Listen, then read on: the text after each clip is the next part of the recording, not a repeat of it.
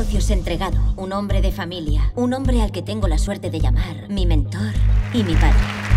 Él decía que todo giraba en torno a seis letras.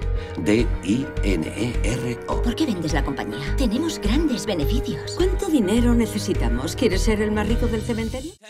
Bueno, la intención, la intención en primer lugar fue crear, bueno, entretenimiento para que, para el disfrute del espectador. Para mí lo que entretiene, especialmente en esta clase de película, es la identificación con un personaje que tiene fallos, porque yo creo que todos tenemos fallos y eso es lo que nos hace humanos. Y, me encanta ver una película donde puedes ver a estos excelentes actores eh, que llevarte a través de esta experiencia humana y puedes identificarte con lo que están atravesando. No importa cuán difícil o oscuro, oscuro sean las circunstancias. Eh, evidentemente, la burbuja inmobiliaria evidentemente ha sido una influencia. Yo empecé a escribir el guion en el 2008 y 2009 durante la implosión, digamos, de la economía americana y luego mm, después la economía global. Así que mm, gracias a todos los fallos económicos que han sucedido, pero yo creo que el personaje mío fue escrito para servir la historia de Richard y mm, estaba encantada que la familia formara parte de la ecuación porque en la mayoría, la mayoría del tiempo en estas historias financieras no sabes lo que sucede en casa. Por tanto, me ha parecido interesante que Nick tuviera que todo el mundo le estuviera agobiando al personaje de Richard, no solamente el mundo financiero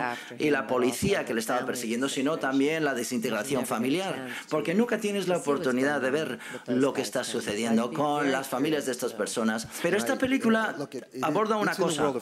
Está en el mundo de las finanzas, pero no funciona. Una historia no es una historia porque aborda el tema financiero. Y tiene que ver con las relaciones, es ver el interior, mirar hacia el interior de las personas, cuáles son sus motivaciones, es de qué es lo que quieren, cómo definen ellos su uh, felicidad.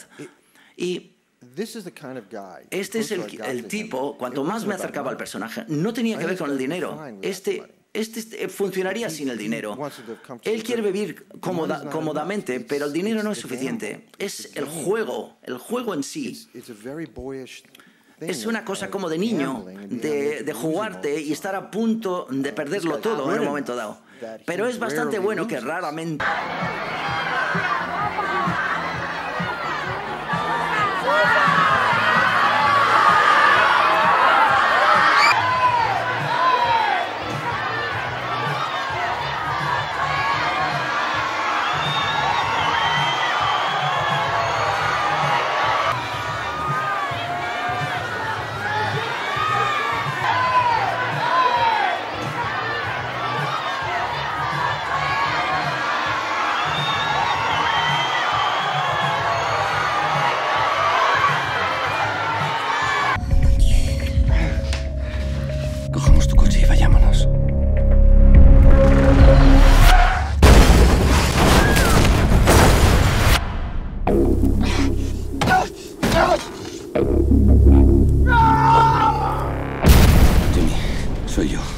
¿Vas a decirme qué pasa? Mejor no preguntes.